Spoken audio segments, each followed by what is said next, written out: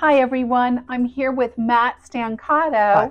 with Guild Mortgage, and we are here to talk about a third quarter market update with rates, real estate, and all that great stuff. And there is a whole lot to talk about in the third quarter. Uh, we had a lot of big news, uh, not only with uh, homes being put on the market, so the inventory, but also with potential changes to the rates happening in the third quarter. So there is a lot to go over. Okay, super. One of the Achilles heels of this market Mhm. has been inventory and rates. So, can you share with everyone a little bit about that, what we're seeing? Well, sure. Everyone knows, of course, that we're short inventory, and so the popular wisdom said that we were going to have to wait until rates came down in order for uh, inventory to start to increase. That's Mhm. not what we've seen, however. We've actually seen an increase in inventory and and a resulting increase in contracts and settlements over the past month or month and a half, uh, without seeing the interest rates significantly lowered. And the reason for that is that we're seeing, first of all, people pursuing alternatives, such as you know things that aren't generally on the market or Mhm. uh, converted commercial properties, things like that.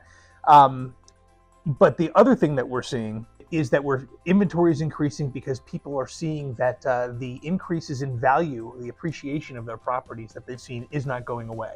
Again, the conventional wisdom about this market said that we were supposed to see an increase in value last year, and then we were supposed to give 10 or 20 percent of that back, similar to the housing bubbles and bursts that we've seen from years past.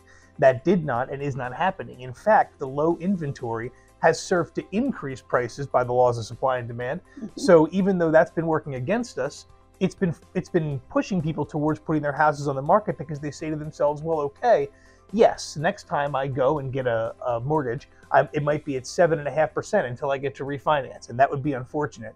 But if I don't put my house in the market right now, I'm giving away 150, 200, 300,000 dollars of equity, and people, uh, especially in the upper price ranges, are making the decision to put that on the market.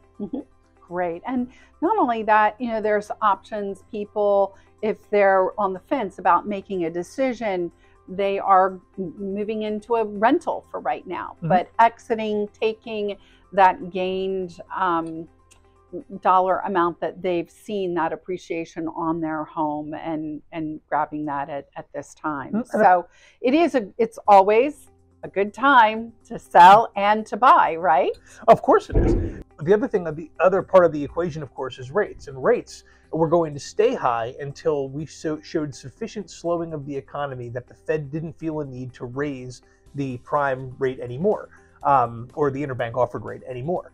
What we've seen is that at this coming Fed meeting, so the end of this month, we are likely, so about 90% chance to see one more quarter hike in the Fed rate.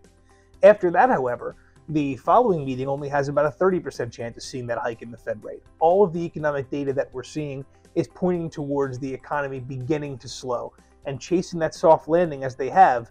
Uh, probably only one more rate rise is going to be what we're going to see. So uh, at that point, rates will follow suit and come down. And at the end of this quarter, at the beginning of the winter quarter, uh, as we predicted about fall of this year, we should see this thing start to come together and unravel a bit. Super. Well, I, for one, am so excited about our end of summer fall market. Just put a couple homes under contract this week. We have a couple new listings coming. So it's a great time. You all give us a call. Um, we'll connect you with Matthews and Guild, and we are looking so forward to a robust fall market. Thanks so much, Matthews, and uh, happy August, everyone. Mhm. End of summer, and we'll see you soon.